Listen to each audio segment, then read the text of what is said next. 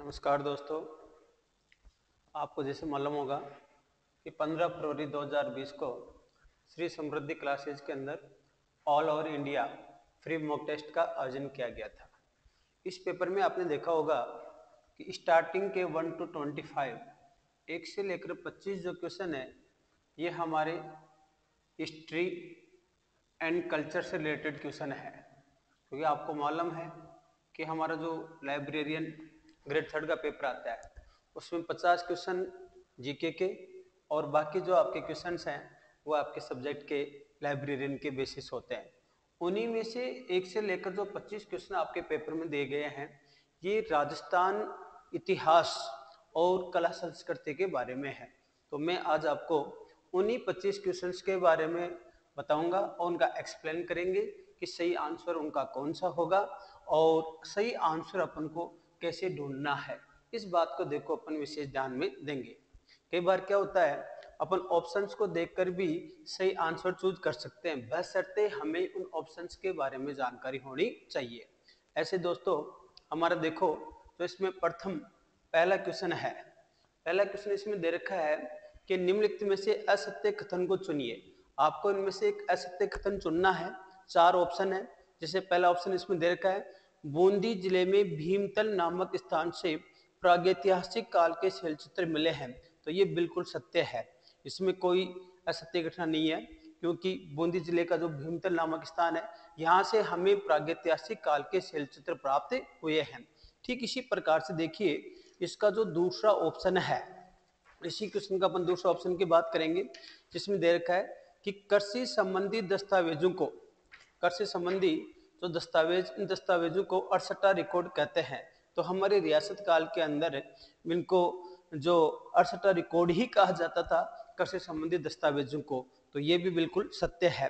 तीसरा इसमें ऑप्शन है, राजस्थान राज्य अभिलेखागार जयपुर में है। हाँ इसके बारे में देखना अपन को, क्योंकि तीसरा ऑप्शन जो दे रखा है कि राजस्थान अभिलेखागार, राजस्थान राज्य अभिलेखागार जयपुर में है। तो दोस्तों, मैं आपको बताऊँ 1955 के अंदर वैसे राजस्थान राज्य जो अभिलेखागार था, इस अभिलेखागार की स्थापना तो जयपुर में ही हुई थी। इसकी स्थापना जयपुर में हुई थी उन्नीस में, लेकिन 1960 के अंदर इसको यहाँ से स्थानांतरित करके बीकानेर इसको शिफ्ट कर दिया गया। तो वर्तमान में अगर हम राजस्थान राज्य अभिलेखागार की बात करेंगे तो ये बीकानेर के अंदर स्थापित है। और आपको ये भी मालूम होगा कि बीकानेर वाला ये हमारा राजस्थान राज्य अभिलेखागार है। ये भारत का प्रथम ऐसा अभिलेखागार है जो पूर्ण रूप से 2013 के अंदर कंप्यूटरीकृत हो चुका था। इसको पूर्ण रूप से एक कंप्यूटरीकृत कर दिया गया था 26 सितंबर 2013 को। तो इसमें हमारे लिए देखो, जो असत्य कथन है, वो यही है, राजस्थान राज्य अभिलेखागार जयपुर में है। ये जयपुर में ना होकर कहाँ पर है? बीकानेर में है। तो हमारा दोस्तों जो आंसर होगा इसके अंदर वो होगा नंबर तीन। चौथा ऑप्शन में देखो, इसमें था हुकूमती बही में सरकारी आदेशों की नकल होती थी तो ये भी बिल्कुल सही है। रियासत काल के अंदर हुकूमती बही का यही उपयोग था। इसके बाद में देखिए, क्वेश्चन नंबर दो। क्वेश्चन नंबर दो में बता रखा है, कीर्ति स्तंभ प्रशस्ति कब लिखी गई? दूसरा जो क्वेश्चन है दोस्तों, ये आपका कीर्ति स्तंभ प्रशस्ति के बारे में है। तो मैं आपको बताना चाहूँगा, ये कीर्ति स्तंभ प्रशस्ति क्या है? इसकी तिथि पूछी गई है आपसे इसमें। तो तिथि किस प्रकार से अपन पहचानेंगे कि ये तिथि सही है? तो पहले तो आपको मालूम होना चाहिए कि कीर्ति स्तंभ क्या है। तो आपको पता होगा दोस्तों 1437 के अंदर जो हमारे मेवाड़ के महाराणा कुंभा और मालवा के शासक महमूद खिलजी प्रथम, इन दोनों के बीच में युद्ध होता है। उस युद्ध का नाम था सारंगपुर का युद्ध। और इस सारंगपुर के युद्ध में पहली बार, सारंगपुर के युद्ध में पहली बार राणा सांगा ने महमूद खिलजी प्रथम को हराया और इसी की स्मृति में इन्होंने चित्तौड़गढ़ के किले में, जो चित्तौड़गढ़ का किला था, इसी चित्तौड़गढ़ के किले में उन्होंने, चित्तौड़गढ़ के किले में इन्होंने कीर्ति स्तंभ जिसको हम विजय स्तंभ भी कहते हैं इस विजय स्तंभ का निर्माण अपने आराध्य देव भगवान विष्णु के नाम से करवाया। ये कारण है कि हम इसे विष्णु ध्वज भी कहते हैं, विजय स्तंभ भी कहते हैं और कीर्ति स्तंभ भी कहते हैं। इसी कीर्ति स्तंभ की प्रशस्ति यहाँ पास में ही स्थित एक जैन कीर्ति स्तंभ, इस जैन कीर्ति स्तंभ के इसका जीर्णोद्धार करवा के 1460 के अंदर 1460 के अंदर उत्कीर्ण करवाई गई, जिसके उत्कीर्ण करता थे अत्रि और महेश। और आपको ये भी मालूम होना चाहिए, अत्रि और महेश ने इसको संस्कृत भाषा में लिखा था। इसको संस्कृत भाषा में लिखा गया था। तो इसका अपना जो आंसर होगा, ये आंसर होगा नंबर तीन 1460 में। पहला, चौदह सौ छप्पन दे रखा है, चौदह सौ अट्ठावन, चौदह सौ साठ और चौदह सौ बासठ। तो ध्यान रखना दोस्तों इसका आंसर होगा 1460 1460 में अत्रि और महेश ने जैन कीर्ति स्तंभ के ही एक दीवार के ऊपर ये कीर्ति स्तंभ प्रशस्ति की रचना की थी, जिसमें महाना कुंभा की पूरी जीवनी के बारे में इसमें लिखा हुआ है। क्वेश्चन नंबर तीसरा। क्वेश्चन नंबर तीसरा इसमें दे रखा है कि दूधवा खारा आंदोलन किस रियासत से संबंधित है? तो देखो दोस्तों, ये क्वेश्चन दो चार बार एग्ज़ाम में भी आ चुका है। दूधवा खरा आंदोलन किस रियासत से संबंधित है? तो हमको ये मालूम हो जाए कि दूधवा खरा नामक स्थान कहाँ पर है तो निश्चित रूप से अपन कह सकते हैं कि ये कहाँ, कौन सी रियासत से संबंधित था।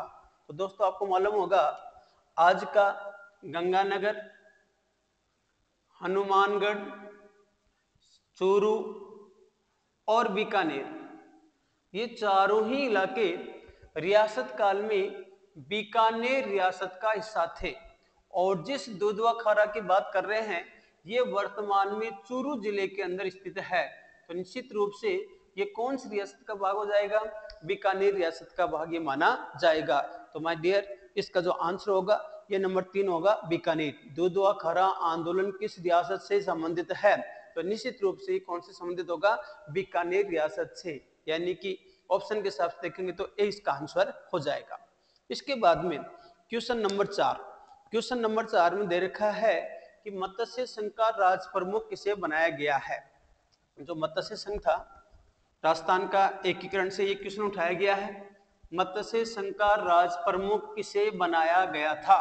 तो यहाँ पर देखिए दोस्तों, मत्स्य संघ के राज प्रमुख की अगर बात करेंगे तो आपको मालूम होगा कि हमारा जब राजस्थान का एकीकरण की प्रक्रिया शुरू हुई थी तो इसी एकीकरण की प्रक्रिया का जो प्रथम स्टेप था, पहला चरण था जो कि 18 मार्च 1948 को हुआ और इस चरण के अंदर अलवर, यानी कि इसको शॉर्ट में अपन याद कर सकते हैं एबीसीडी अलवर, भरतपुर, करौली और धौलपुर। इन चार रियासतों को मिलाकर एक संघ बनाया गया, इसी संघ को बोला गया मत्स्य संघ।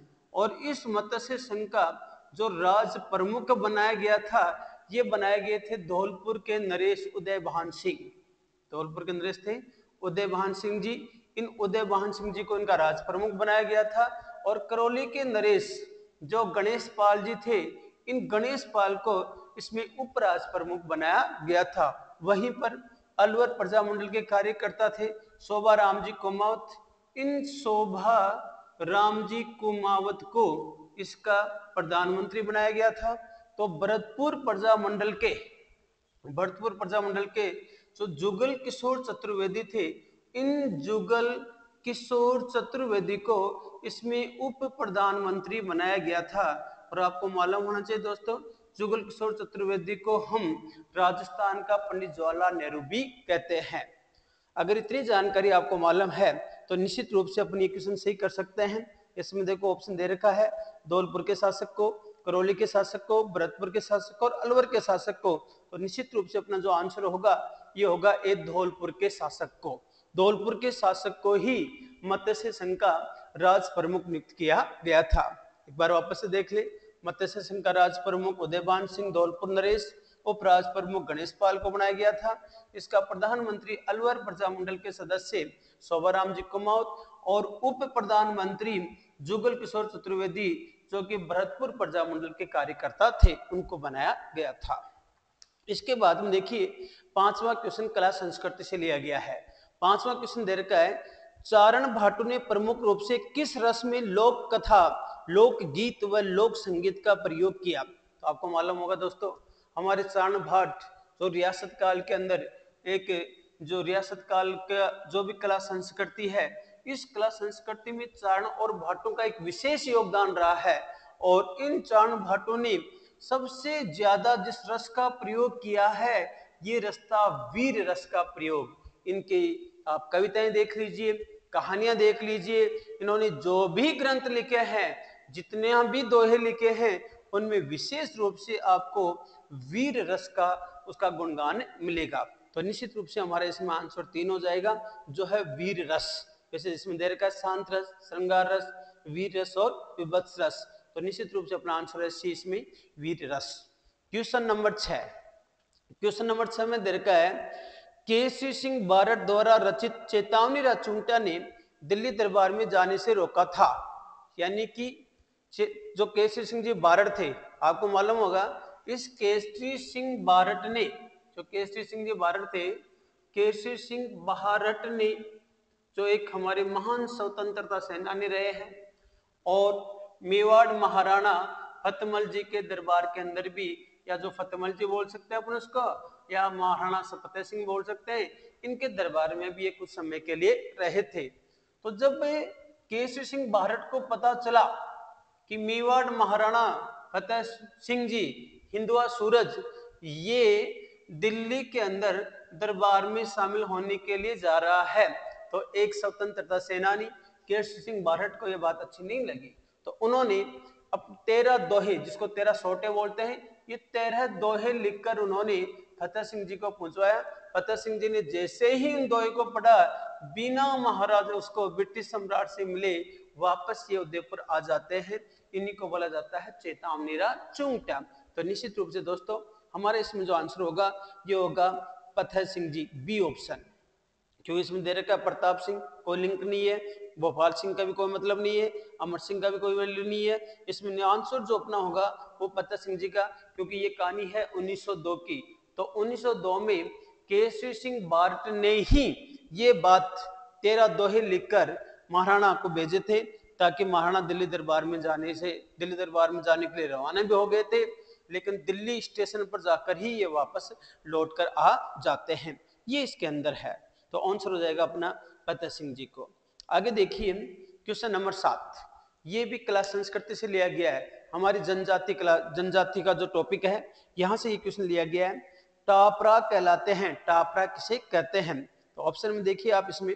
सासियों के घर को, शहरिया के घर को, मीनों के घर को भीलों के घर को। तो आपको मालूम होना चाहिए, इसमें जो शहरियों का घर है, वो तो घेर कहलाता है और जिसका गोपा भी कहा जाता है, जो जंगलों में रहता है तो इसमें जो टोपरा ऑप्शन दिया गया है, ये टोपरा भीलू के घर को ही कहा जाता है।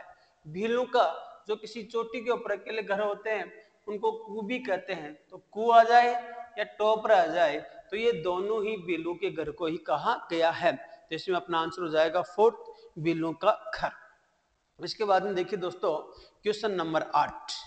क्वेश्चन नंबर आठ में दे रखा है किस लोक देवता ने समाज सुधार के क्षेत्र में छुआछूत और ऊंच नीच का विरोध किया? ऐसा कौन सा हमारा लोक देवता है जिन्होंने समाज सुधार के क्षेत्र में छुआछूत और ऊंच नीच का विरोध किया तथा हिंदू, मुस्लिम एकता द्वारा सामाजिक समरसता स्थापित करने का प्रयास किया? तो देखो, मैं इसमें एक चीज़ आपको बताना चाहूँगा। वैसे हमारे सभी लोक देवताओं ने सामाजिक समरसता की हमको शिक्षा दी है, लेकिन फिर भी अगर इनमें से विशेष रूप से हमें किसी एक लोक देवता को अगर अपन को उसमें आंसर देना है तो वो होंगे हमारे बाबा रामदेव। बाबा रामदेव की आप बात करेंगे। डालीबाई एक मेघवाल कन्या। डालीबाई को क्या बनाता है ये अपनी ए, उसकी प्रमुख उनकी शिष्या भी थी और ये उनकी एक मुँह बोली बहन भी थी। इन्होंने ही जो दलित समझे जाते थे उन्हीं का एक पंथ स्थापित किया था। जिसको कामड़ पंथ कहा जाता है, और बिना किसी ऊंच नीच के खुद क्षत्रिय कुल विराट क्षत्रिय कुल में पैदा हुए। लेकिन इन्होंने हर जाति और हर धर्म के लोग, हर जाति और हर धर्म के लोगों के लिए अच्छा कार्य किया, और उनको समाज में आगे बढ़ाने को प्रेरणा दी। ये कारण है कि आज बाबा रामदेव का जो मेला बढ़ता है, इस मेला में आपको मुसलमान भी मिलेंगे, जो इनको बाबा साहब पीर के नाम से जानते हैं। इसमें आपको अधिकांश हिंदू मिलेंगे, जो इनको बाबा रामदेव के नाम से पुकारते हैं। दलित भी इसमें आपको मिलेंगे। बड़ी संख्या के अंदर सबसे ज़्यादा दलित और मेघवाल जाति के इनके भक्त, जिनको रिखिया कहा जाता है, ये भी इनके मेले के अंदर मिलेंगे। ये कारण है कि इनके मेले को हम सामाजिक समरसता का मेला कहा जाता है। या एक ये ऐसे लोग देवता हैं, जिन्होंने सामाजिक समरसता का कार्य किया।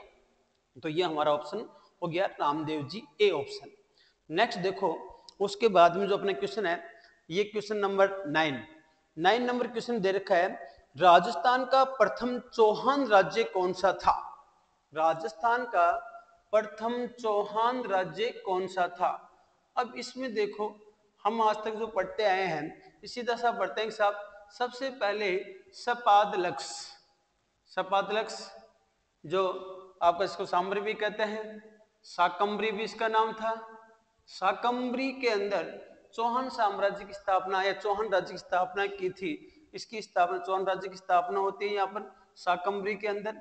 लेकिन साकम्बरी के ही, जो साकम्बरी के चौहान थे, इन्हीं साकम्बरी के चौहानों में से, जो साकम्बरी के चौहान थे, इन्हीं साकम्बरी के चौहानों में से वाघपति राज वाघपति राज और आत्म प्रभा के पुत्र, इन दोनों का पुत्र था लक्ष्मण। ये लक्ष्मण दसवीं सदी के अंदर, दसवीं सदी के अंदर नाडोल जाता है और नाडोल के अंदर चौहान राज्य की स्थापना करता है। अतः साकम्बरी के बाद में अगर दूसरा स्थान कहीं जहाँ पर चौहान राज्य की स्थापना होती है तो वो था नाडोल। और नाडोल में इसकी स्थापना करते हैं लक्ष्मण। लक्ष्मण वाघपति राज और उनकी रानी आत्म प्रभा के पुत्र थे। वाघपति राज सकाम्बरी के शासक थे। तो उन्होंने अपने बड़े पुत्र को साकम्बरी का शासन दिया। तो लक्ष्मण यहाँ से चले जाते हैं और नाडोल के अंदर दसवीं शताब्दी के अंदर उन्होंने चौहान राज्य की स्थापना की। तो देखिए, हमारे क्वेश्चन के अकॉर्डिंग हम देखेंगे। तो इसमें देर का है, राजस्थान का प्रथम चौहान राज्य। अगर साकम्बरी होता तो निश्चित रूप से अपन साकम्बरी करते, लेकिन साकम्बरी ऑप्शन नहीं है। इसमें हाड़ोती, अजमेर रणथम्बर और नाडोल, ये चार दे रखे हैं। इन चारों में से तिथि क्रम में देखेंगे तो अपन को मालूम है कि दसवीं शताब्दी में नाडोल में इस लक्ष्मण चौहान ने इसकी स्थापना की थी तो ये पहला राज्य हो जाएगा। उसके बाद में इनमें से बात करेंगे तो अजमेर का आएगा। अजय राज ने ग्यारह सौ तेरह ईस्वी के अंदर, अजमेर के अंदर चौहान राज्य की स्थापना की थी। अजमेर के ही जो पृथ्वीराज चौहान के पुत्र थे गोविंद राज इसी गोविंद राज ने ग्यारह सौ चौरानवे ईस्वी के अंदर रणथम्बोर के अंदर चौहान राज्य की स्थापना की थी। ऐसे ही हाड़ोती की स्थापना हुई थी। तो इनमें से अगर अपन देखते हैं तो अपना आंसर होगा नाडोल डी। ठीक है? आगे देखिए, उसके बाद में आता है क्वेश्चन नंबर दस। क्वेश्चन नंबर दस दे रखा है, बांगड़ का धनी के नाम से प्रसिद्ध है। इसमें ऑप्शन दे रखा है, बांगड़ का धनी। बांगड़ का धनी किसे कहा गया है? ये कल्चर का क्वेश्चन है, अपने धार्मिक संप्रदाय वाले टॉपिक में से। तो देखिए बांगड़ का धनी की बात करें तो सबसे पहले तो अपन को ये बांगड़ का धनी या बांगड़ ये समझ में आना चाहिए। दो शब्द देखो दोस्तों, एक तो वागड़ है और एक बांगड़ है। वागड़ की बात करें तो निश्चित रूप से ये डूंगरपुर और बांसवाड़ा का इलाका आता है। डूंगरपुर, बांसवाड़ा और कुछ हद तक प्रतापगढ़ का इलाका भी इसमें शामिल कर लिया। जाता है। और वागड़ की, बांगड़ की बात करें तो बांगड़ में ये हमारा मुख्य रूप से झुंझुनू सिक्कर और चूरू, इन तीनों का सीमावर्ती जो इलाका है सिक्कर चूरू और झुंझुनू, तीनों के सीमावर्ती इलाके को बांगड़ या बांगर भी कहा जाता है, जो कि एक निम्न भूमि प्रदेश है। इस बांगड़ या बांगर का धनी किसे कहा गया है? तो देखो, इसके धनी की बात करें तो यहाँ पर झुंझुनू के अंदर नरहड़ नामक गाँव और इस नरहड़ नामक गाँव के अंदर, जो नरहड़ नामक गाँव है, इस गाँव के अंदर हज़रत शक्कर शाह पीर, हज़रत शक्कर शाह बार, इनकी देखो दरगाह बनी हुई है और इनकी दरगाह और इस हज़रत शाह शक्कर बाबा, जिसको अपन हज़रत शाह शक्कर बार भी कहा जाता है। इसी को हम नरहड़ का पीर भी कहते हैं। इनके यहाँ पर इतनी मान्यता है कि इनको यहाँ बागड़ का धनी भी कहते हैं। हज़रत शाह शक्करबार जो नरहड़ के पीर कहलाते हैं, ये इस इलाके में देखो, सांप्रदायिक समरसता या यूँ कहीं कि सांप्रदायिक सौहद्र का पाठ भी हमें पढ़ाते हैं। इन्हीं हज़रत शाह शक्करबार नरहर की जो पीर है, यहाँ पर प्रत्येक कृष्ण जन्माष्टमी को तीन दिन का मेला लगता है। कृष्ण जन्माष्टमी के दिन तीन दिन का उस तीन दिन का मेला लगता है और उस मेले के अंदर हिंदू भी आते हैं और मुसलमान भाई भी आते हैं। तो हिंदू और मुसलमान दोनों भाई आते हैं। यही पास के अंदर एक चोरी चौ, उसका चौबीस कोष परिक्रमा भी भक्तों के द्वारा की जाती है। तो जो कृष्ण जन्माष्टमी है उसके दिन यहाँ पर जो मेला बढ़ता है बड़ी संख्या में हिंदू और मुसलमान दोनों ही कम्युनिटी के लोग यहाँ पर भाग लेते हैं। ये कारण है कि हज़रत शक्कर शाह बार को यहाँ पर बांगड़ का धनी कहा जाता है। इसके बाद में देखिए, अपन आगे बात करेंगे क्वेश्चन नंबर ग्यारह की। क्वेश्चन नंबर ग्यारह में जो देर का है, ये बता रखा है क्वेश्चन नंबर ग्यारह में कि लोकोत्सव एवं उसकी तिथि का कौन सा जोड़ा सुमिलित है? लोकोत्सव एवं उनकी तिथि का कौन सा जोड़ा सुमिलित है?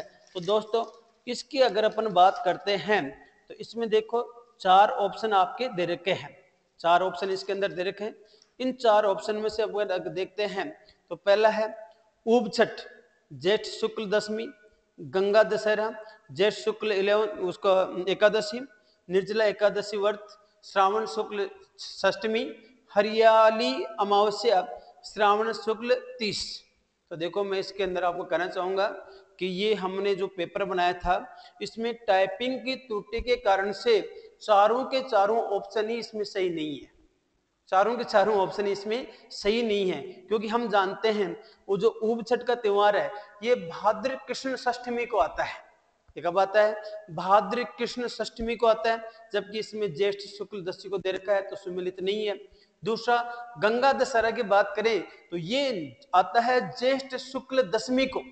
ये आता है ज्येष्ठ शुक्ल दशमी को। ज्येष्ठ शुक्ल दशमी को आता है, जबकि इसमें ग्यारह कर दिया। यही यहाँ पर सबसे बड़ी प्रॉब्लम है। तो इसको ग्यारह को आप दस कर लीजिए। दस करते ही आपका देखो, इसमें सुमेलित जोड़े की बात करेंगे तो वो बी ऑप्शन हो जाएगा गंगा दशहरा।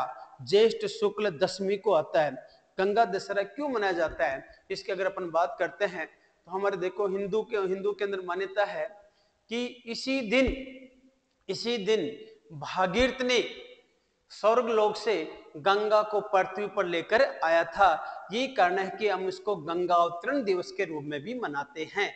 इसी गंगा दशहरा को गंगावतरण दिवस भी कहा जाता है, जो कि ज्येष्ठ शुक्ल दशमी को हमेशा मनाया जाता है। तो इसमें अपना सही आंसर ये होगा।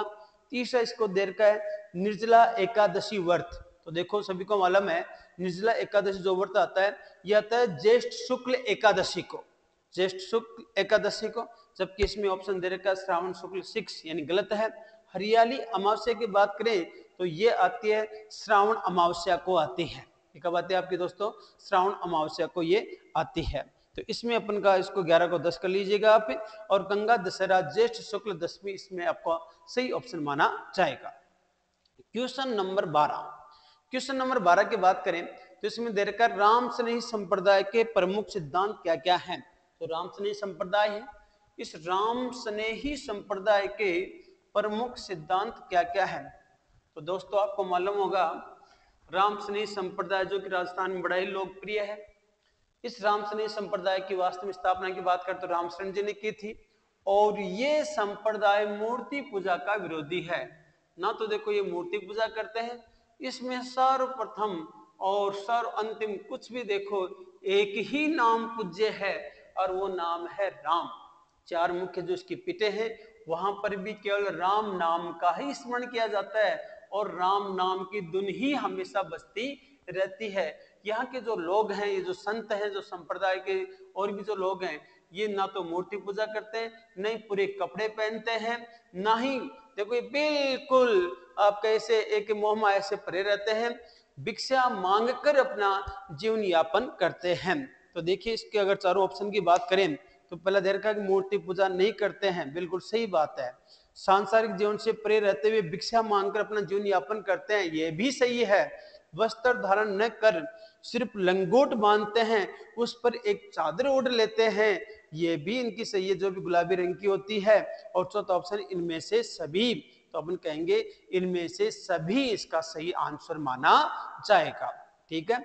उसके बाद में देखिए question number thirteen. Question number thirteen दे रखा है, ऊंटों के देवता के रूप में किस लोक देवता को पूजा की, किस लोक देवता की पूजा की जाती है? तो देखो, दोस्तों, मारवाड़ की बात करें आप तो मारवाड़ के अंदर पाबू जी को पूजा जाता है और ऐसी मान्यता है कि पाबू जी ही सबसे पहले मारवाड़ के अंदर ऊँट लेकर आए थे और ऊँट पालक जाति, जो रेबारी या रायका जो कहलाती है ये रेबारी या रायका ऊँट के बीमार होने पर पाबू जी के पावरे माट वाद्य यंत्र के साथ गाते हैं। बाबू जी के पावरे माट वाद्य यंत्र के साथ ये गाते हैं। अतः निश्चित रूप से अपन कह सकते हैं कि ऊंटों के देवता के रूप में किसको माना जाता है? बाबू जी को माना जाता है। तो ये इसमें आंसर हो जाएगा A. Question number fourteen. Fourteen question इसमें दे रखा है। मेवाड़ और मारवाड़ में पहनी जाने वाली पगड़ी में क्या अंतर होता है? तो दोस्तों, इसमें ज़्यादातर अंतर की बात करें तो एक जैसे ही है, ज़्यादा डिफरेंस इसमें नहीं होता। इसमें डिफरेंस एक आपका जो होता है, ये उसकी भाग का और उसकी ऊंचाई का फ़र्क होता है। जिसमें पहला आंसर दे रखा है कि मारवाड़ की पगड़ी मेवाड़ की अपेक्षा आकार में बड़ी और ऊँची होती है, बिल्कुल सत्य है। मारवाड़ की पगड़ी, मेवाड़ की पगड़ी सीरियल में वास्तव में बड़ी भी होती है और ऊँची भी होती है तो इसमें अपना जो सही आंसर है, वो यही है। ठीक है? Question number fifteen question number fifteen की बात करेंगे। बड़ा सिंपल क्वेश्चन लिया गया एग्ज़ाम ये। ग्रामीण क्षेत्र के पुरुष आभूषणों के अंतर्गत आभूषण और पुरुष अंक का कौन सा जोड़ा सम्मिलित है? इतना सिंपल सा क्वेश्चन है कि अपन हर कोई इसमें कर सकते हैं। जैसे कान, सबको पता है, कानों में क्या पहने जाते हैं? बालियाँ पहनी जाती है। जबकि इसमें कर्दनी दे रखी है तो कर्दनी तो कमर के ऊपर पहनी जाती है तो ये हो ही नहीं सकता। दूसरा, कलाई। कलाई के ऊपर देखो, बालियाँ नहीं पहनी जाती, कड़े पहने जाते हैं चांदी के तो ये भी गलत आंसर है। कमर, चांदी के कड़े, यहाँ पर कमर पर करदनी पहनी जाती है तो ये भी सुमेलित नहीं है। चौथा है, गला। काले धागे की कंठी तो निश्चित रूप से हम, ये चौथा आंसर सही है कि गले के अंदर ही हम काले धागे की कंठी पहनते हैं। जबकि कलाई के अंदर जो पहनी जाती है, वो चांदी का कड़ा और उसका बालियाँ कान के अंदर और कमर के अंदर करदनी पहनी जाती है। तो अपना सही आंसर होगा इसमें कला, डी ऑप्शन, गला काले धागे की कंठी। ऐसे देखो दोस्तों, question number 16 question number 16 Rajasthan के किस मेले को लक्ष्मी मेले के रूप में जाना जाता है? तो दोस्तों, इस क्वेश्चन के बारे में आपको बताना चाहूँगा।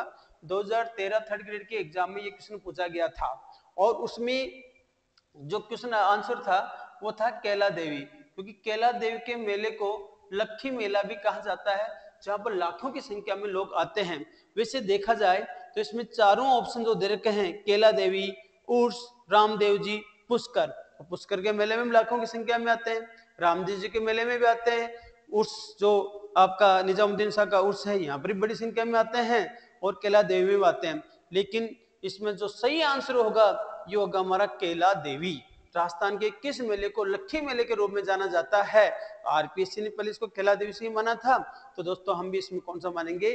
केला देवी। नेक्स्ट देखिए, नाथ द्वारा शैली का प्रारंभ। नाथ द्वारा का नाम आते ही सबसे पहले हमारे जहन के अंदर श्रीनाथ जी का नाम आता है। श्रीनाथ जी, क्योंकि नाथ द्वारा में अगर जो कुछ है तो वो एक ही है। श्रीनाथ जी। वल्लभ संप्रदाय के आराध्य देव भगवान श्रीनाथ श्री कृष्ण के बाल स्वरूप की यहाँ पर पूजा की जाती है।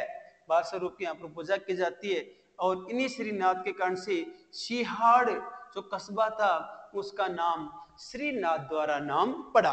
तो क्वेश्चन है कि नाथ द्वारा शैली का प्रारंभ कब हुआ? तो दोस्तों, जिस दिन से नाथ द्वारा के अंदर भगवान श्रीनाथ जी आए थे और इनका मंदिर बना था 1672 उसके साथ से ही यहाँ पर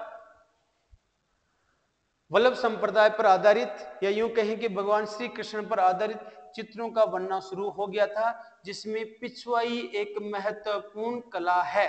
तो पिछवाई नाथ द्वारा के प्रसिद्ध है और इसकी शुरुआत श्रीनाथ जी का मंदिर बनने के साथ ही हो गई थी। तो अगर इसमें श्रीनाथ जी का मंदिर की बात करें तो हमें मालूम है 1672 के अंदर यह मंदिर बना था। तो इसके आसपास की जो तिथि होगी, वो ही अपन को माननी होगी। ऑप्शन में दे रखा है 1972 हो ही नहीं सकती। 1673 1974 1975 तो 19 वाले जो ऑप्शन है, वो तो इनमें से एक भी नहीं होगा। तो इसमें सही आंसर जो होगा, वो होगा 1673 सोलह ईस्वी के अंदर नाथ द्वारा शैली का प्रादुर्भाव क्योंकि हमें मालूम है, श्रीनाथ जी मंदिर का उद्घाटन होता है 10 फरवरी सोलह को। और इसी के साथ श्रीनाथ जी का मंदिर का उद्घाटन के साथ ही यहाँ पर ये श्रीनाथ द्वारा शैली की शुरुआत भी मानी जाती है। दोस्तों, इसके आगे क्वेश्चन नंबर अठारह। क्वेश्चन नंबर अठारह दर का है, शेखावटी की सौन नगरी कहलाती है। शेखावटी का नाम आते हमारे जहन के अंदर सीकर चूरू, झुंझुनू, उत्तरी नागौर का इलाका आता है। तो निश्चित रूप से इन्हीं इलाकों में से कोई एक इलाका होगा। ऑप्शन की बात करते हैं।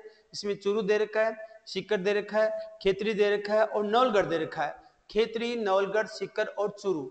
अब इनमें से अगर बात करें तो सवर्ण नगरी की अगर बात करते हैं तो ये कहलाता है नवलगढ़। यहाँ की हवेलियाँ बड़ी प्रसिद्ध, यहाँ की कारीगरी इतनी प्रसिद्ध इनकी हवेलियों को देखकर लगता है जैसे सोने से इनको जड़ा दी गई हो, और लोग इनको स्वर्ण नगरी के नाम से जानते हैं। तो दोस्तों, शेखावटी की स्वर्ण नगरी की बात करें तो इसमें अपना ऑप्शन होगा डी नवलकट। क्वेश्चन नंबर 19 19 नंबर का क्वेश्चन है न्यून में से कौन सा कथन सत्य है? यानी चार कथन दे रखे हैं, और इन चारों कथनों में से आपको एक सत्य कथन छांटना है। दोस्तों, इन चारों खतनों की बात करें तो पहला देखकर राजस्थान में औदक दुर्ग श्रेणी का गागरोन दुर्ग है। यानी औदक श्रेणी का दुर्ग कौन सा है? गागरोन। तो बात आती है, ये औदक श्रेणी कौन सी है? तो दोस्तों औदक बोल दीजिए, चाहे आप इसको जल दुर्ग बोल दीजिए, बात एक ही है। क्योंकि जब कौटिल्य या चाणक्य ने दुर्गों की श्रेणी बताई तो उन्होंने जल दुर्ग के स्थान पर इसका नाम औदक दुर्ग लिया। ठीक है? तो जो बड़ी जल राशि के पास में स्थित दुर्ग है, वो क्या कहलाएगा? औदक दुर्ग या जल दुर्ग कहलाएगा तो हमको मालूम है कि जो गागरोन का किला, और ये भी पता है कि गागरोन का किला झालावाड़ के अंदर है। ये दो नदियों के किनारे, एक नदी का नाम काली सिंध और दूसरी नदी आहू, जो दोनों उसकी मध्य प्रदेश से आती है। तो आहू और काली सिंध इन दोनों का सामेल जहाँ पर होता है, उसी जगह पर, एक पहाड़ी के ऊपर गागरोन का किला बना हुआ है। तो ये किला एक जल दुर्ग श्रेणी के अंदर आता है। तो ये निश्चित रूप से सही आंसर है। इन कथन सत्य की बात करें तो ये कथन सत्य है। दूसरा ऑप्शन में दे रखा है, चित्तौड़गढ़ का संस्थापक चित्रांगद मौर्य को नहीं माना जाता। ये गलत है, क्योंकि हमें मालूम है, चित्तौड़गढ़ दुर्ग का संस्थापक चित्रांग मौर्य ही है। ठीक है, तीसरा ऑप्शन है इसमें रणथम्बोर का दुर्ग राजस्थान के कोटा में नौ रणथम्बोर का दुर्ग हमारे को मालूम है, स्वाई माधोपुर के अंदर है। प्रसिद्ध दीग का किला धौलपुर के अंदर है। ये भी हमें पता है कि जिलों की नगरी डीग ये भरतपुर के अंदर आती है। ठीक है? तो इसमें से आंसर हो जाएगा अपना, राजस्थान में औद्योगिक दुर्ग श्रेणी का गागरोन दुर्ग है। दोस्तों, ऐसे क्वेश्चन नंबर 20 जो हमारी भील संस्कृति से लिया गया है, सावन भादों में नृत्य के नाटक के रूप में प्रस्तुत होता है। तो सावन और भादो में नृत्य का नाटक के रूप में प्रस्तुत होता है।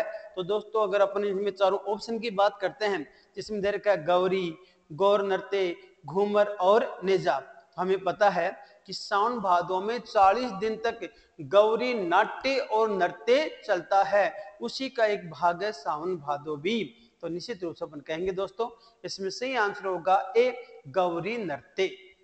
देखिए, इसके बाद में क्वेश्चन नंबर 21 इसमें पूछा गया है सुधा कलश नामक ग्रंथ के लेखक कौन है?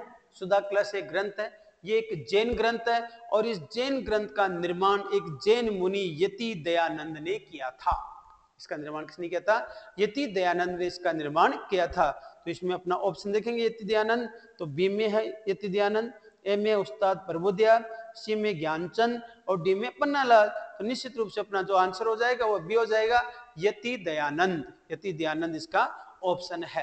क्वेश्चन नंबर 22 क्वेश्चन नंबर 22 है कि मारवाड़ की कौन सी जाति सवांग रस्ती है? मारवाड़ की ऐसी जाति कौन सी है जो सवांग रस्ते का कार्य करती है, लोगों का मनोरंजन करने के लिए? तो दोस्तों लोगों का मनोरंजन करने के लिए जो स्वांग रचने का कार्य करते हैं, वैसे तो भाट लोग करते हैं, लेकिन इसमें भाट का ऑप्शन नहीं है। तो अपन चारों की बात करें, और जो ऑप्शन इसमें दे रखा है, वो है रावत, रावल, भील और ग्रासिया। तो इन चारों की अगर अपन बात करते हैं तो इनमें से सही ऑप्शन है रावल। रावल जाति सवांग करके अपने जजमानों का ये क्या करते मनोरंजन करती है। क्वेश्चन नंबर तेबीस ये भी देखो हमारी धार्मिक संप्रदाय वाला टॉपिक है। इसमें से क्वेश्चन लिया गया है। इसमें आपको दिया गया है ऑप्शन कि निम्न में से किस जाति के लोग निशान और मंजिरों का प्रयोग कर रामदेव जी के लोकगीत गाते हैं? दोस्तों, अपन को मालूम है कि जब रामदेव जी का मेला बढ़ता है, बाबेरी बीच से शुरू होकर एकादशी तक जो राम रामदेव जी का मेला बढ़ता है, इस मेले के अंदर कामड़ जाति के लोग और कामड़ संप्रदाय की स्थापना आपको मालूम होगा। बाबा रामदेव ने ही की थी। तो कामड़ संप्रदाय के लोग इस समय तेरह ताली नृत्य करते हैं। तेरह ताली नृत्य करते हैं इसमें, जिसमें महिलाएँ तो क्या करती हैं? महिलाएँ अपने जैसे तेरह मंजिरे होंगे और वो नौ मंजिरे बाएँ हाथ पैर के, दो अपने हाथों में, दो कोनियों में लेकर उनको एक विशेष प्रकार से उनको नृत्य करती हुई उनको एक आवाज़ निकालती है। पुरुष इस वक्त निशान के साथ उसमें गायन गाते हैं तो पुरुष गाते हैं, महिलाएँ इसमें नृत्य करती हैं। इसकी एक और विशेषता है तेरह ताली नृत्य की, कि इसमें नृत्य केवल और केवल बहुवे ही कर सकती हैं। बेटियों को नृत्य इसमें नहीं करवाया जाता है। तो तेरह ताली नृत्य कामन संप्रदाय के द्वारा ही मंजीरे और निशान के साथ किया जाता है। ये इसका सही आंसर होगा। तो इसमें देखो, यही है निम्न में से किस जाति के लोग निशान और मंजिलों का प्रयोग कर रामदेव जी के लोकगीत गाते हैं? तो चार ऑप्शन दे रखे हैं, डोली, सासी कामड़ और लंगा। तो हमें पता है कौन सा जाएगा इसमें? कामड़ संप्रदाय के लोग ऐसा करते हैं। Question number twenty four. Question number चौबीस की बात करें जिसमें ऑप्शन दे रखा है, निम्न में से कौन सा गलत कथन है? इनमें से गलत कथन कौन सा है? तो गलत कथन छांटना है अपन को। तो देखो, पहला ऑप्शन इसमें दे रखा है कान गुजरी जाति के लोग। कान गुजरी जाति के व्यक्ति राधा व कृष्ण के जीवन पर आधारित भक्ति गीतों के गाने में दक्ष होते हैं। बिल्कुल सही बात है कि भैया जो कान गुजरी जाति के लोग हैं, वो राधा और कृष्ण के भक्ति ही गाते हैं, उनके भक्ति गीत ही गाते हैं। दूसरा है, सांची जाति की उत्पत्ति भीलवाड़े से मानी जाती है ये गलत है। क्योंकि सासी जाति की उत्पत्ति भीलवाड़े से नहीं, ये भरतपुर से मानी जाती है। भरतपुर से ही सांसी जाति के सांसमल नामक जो व्यक्ति था, उसी के आपके बीजा और माला नामक जो दो पुत्र हुए और उन्हीं से सांसी जाति दो भागों में बटी और वहीं से इनकी उत्पत्ति मानी जाती है। तो इसमें गलत आंसर जो अपना हो जाएगा, वो जाएगा सांसी जाति की उत्पत्ति भीलवाड़े से मानी जाती है। ये भीलवाड़ा ना कर क्या होना चाहिए था? ये अपना भरतपुर, अतः ये आंसर गलत है। जबकि तीसरा देखते हैं अपना ऑप्शन इसमें। जैसलमेर क्षेत्र के मिरासी कलाकार मांड गाय के लिए प्रसिद्ध। बिल्कुल सही बात है। भवाई जाति की उत्पत्ति केकड़ी के नागोजी जाट ने आज से 400 वर्ष पहले की थी। यह भी बिल्कुल सत्य है। तो यहाँ तक की बात करें तो बिल्कुल सही बात है। तो इसमें गलत आंसर जो होगा वो बी होगा। गलत ऑप्शन तो अपना लिए आंसर हो जाएगा इसमें बी। दोस्तों, क्वेश्चन नंबर 25 क्वेश्चन नंबर 25 की बात करें, राजस्थान निर्माण की प्रक्रिया कब पूर्ण हुई? तो देखिए, राजस्थान निर्माण की प्रक्रिया की बात करें तो हमें मालूम है कि राजस्थान निर्माण की प्रक्रिया 18 मार्च 1948 को मत्स्य संघ के गठन से शुरू होती है और आगे चलकर सात स्टेप, सात चरण पूरे होते हैं। एक नवंबर 1956 को, जिस दिन को हम राजस्थान दिवस के रूप में मनाते हैं और इसी दिन हमारा एकीकरण पूरा हुआ था, राजस्थान वर्तमान स्वरूप के अंदर आया था। तो राजस्थान निर्माण की प्रक्रिया कब पूर्ण हुई, इसमें अगर ऑप्शन की बात करें तो ये हो जाएगा 1956 तो देखिए दोस्तों ये आपके 25 क्वेश्चन थे, जिन्होंने, जिनको मैंने मेरी दृष्टि से समझाया है। एक बार इसको वीडियो देखना आप लोग। कहीं भी किसी प्रकार की आपको कोई डाउट हो तो आप कमेंट्स भी कर सकते हैं। यहाँ पर नंबर दिए हुए हैं हमारे वीडियो के अंदर। उन नंबर पे आप कॉल भी कर सकते हैं। तो निश्चित रूप से आपकी सभी समस्या का यहाँ पर समाधान किया जाएगा। नेक्स्ट हमारा जो मॉक टेस्ट होगा, हर मॉक टेस्ट की, उसकी और हर मॉक टेस्ट का इसी प्रकार से आपका पूरा कला, उसका क्वाले उसका अपना, उसका अपन जिसका डिस्क्रिप्शन आपके सामने मैं आर एस मेहरिया लेकर आऊँगा। Okay thank you bye